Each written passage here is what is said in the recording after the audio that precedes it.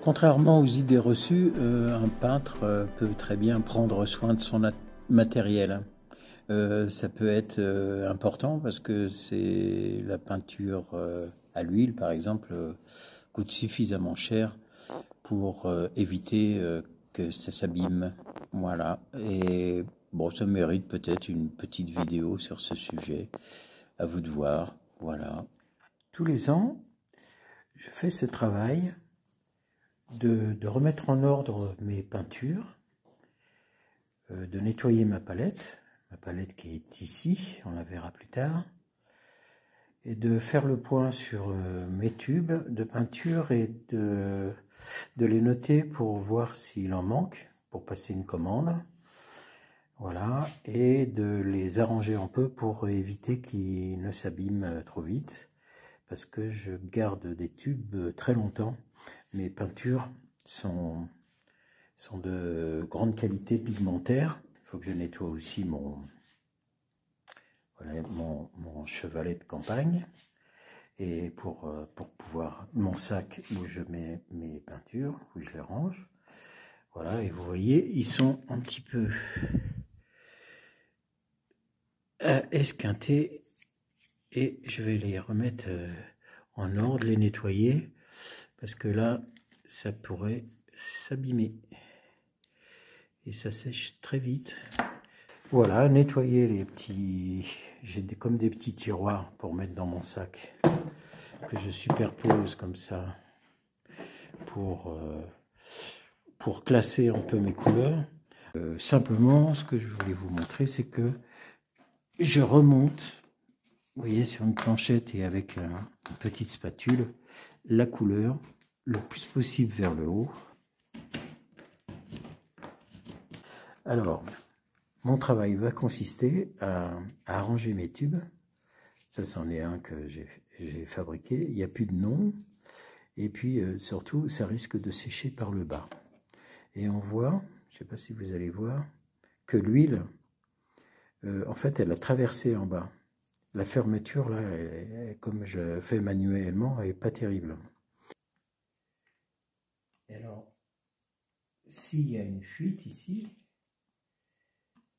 euh, le problème c'est que l'air va rentrer et l'oxygène va faire oxyder, durcir donc l'huile qui est à l'intérieur. Il ne faut pas que l'air rentre dans les tubes, euh, sinon évidemment ça va sécher le terme séché étant pas exact, hein, ça va oxyder, puisque l'huile durcit euh, par un apport d'oxygène. Alors pour, ça, il suffit d'avoir de la bande isolante aluminium adhésive et de, de simplement fermer en fait cette partie basse, la protéger correctement. Voilà. C'est tout bête. Mais que ça peut économiser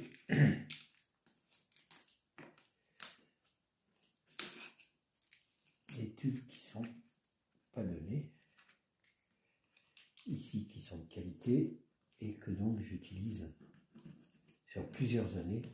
C'est pourquoi j'ai tout intérêt à, à bien les protéger. Les tubes qui sont utilisés dans dans l'année ou, assez rapidement, c'est pas la peine de faire ça. Donc je contrôle les bouchons aussi en enlevant la peinture qui a séché autour et qui empêche le bouchon de s'ouvrir parce que ça fait un collage. Je teste le bouchon pour voir s'il s'ouvre bien c'est quelquefois il, est très difficile à, ouvrir. Euh, voici une vieille astuce euh, lorsque les on n'arrive pas à ouvrir un tube, que ce soit de l'acrylique ou de l'huile. Ce vieux truc bien connu, c'est de l'eau chaude. On laisse couler. Et là, on arrose euh,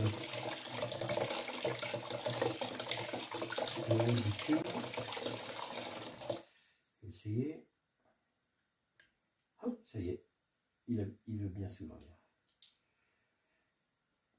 Donc on peut faire ça aussi avec un pot récalcitrant, parce que ça c'est de la peinture acrylique.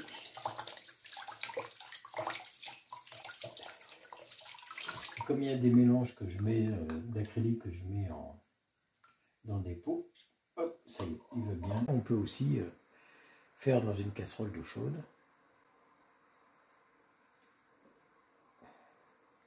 Voilà. Alors le danger, vous voyez, c'est que ça torsade en haut. Si on force, on va, on va torsader et percer, en fait. Ça, risque euh, de crever l'aluminium. Et donc le, tube, après, il est, il naze.